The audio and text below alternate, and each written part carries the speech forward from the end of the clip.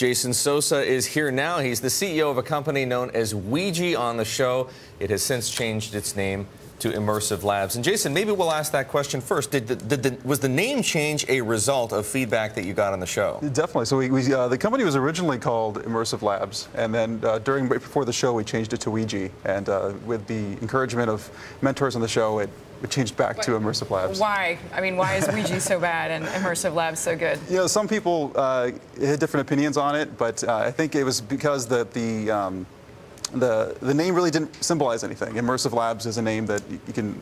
When you hear it, you first understand what we do you know, pretty quickly. There was a reference there to Minority Report. Yep. One of my favorite films, I have to say. What you do sounds a little bit like what goes on in Minority Report. This this this uh, if you will, facial recognition. Yeah, well, in the film, it's it's iris scanners, and it's uh, it's it's not an opt-in system. It's something that's pretty invasive. So I think we're, we're, big, very we're big brother. Very big brother. So we're doing something that's a lot different. So it's it's completely anonymous, and as uh, you know, what we're doing is being able to identify uh, gener generic uh, demographic information. So age, gender, attention time.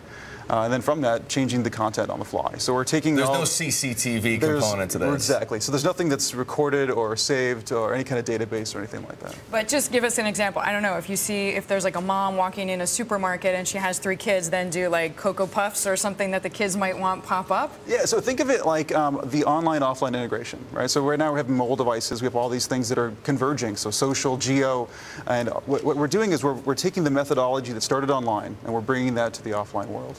So as you know, uh, technology advances, we're going to be able to integrate with uh, near-field communication and other type of devices. Jason, one of the biggest gripes people have about ads and ad spending is you never know whether the ads are actually working. Are you any better able to tell whether this form of advertising works better than the traditional form of advertising? Yeah, well, so we already tested in the real world. Uh, we've completed pilot tests at the Sony Style Store in New York City, uh, other major retailers, and we're rolling out to probably 20 locations here in the next uh, few, few months, actually.